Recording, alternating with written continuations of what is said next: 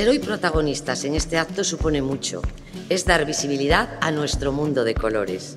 Un centro de gran diversidad, cultural, social y religiosa, reflejo de nuestra sociedad y donde se demuestra que si todos trabajamos juntos con un objetivo común, podemos ser ejemplo de convivencia.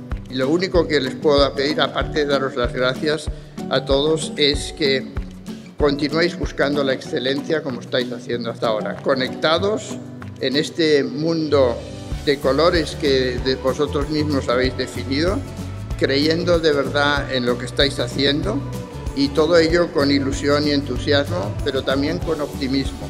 Si algo puedo destacar de lo que hemos vivido aquí, es una demostración de la fuerza y el potencial que puede tener la cohesión.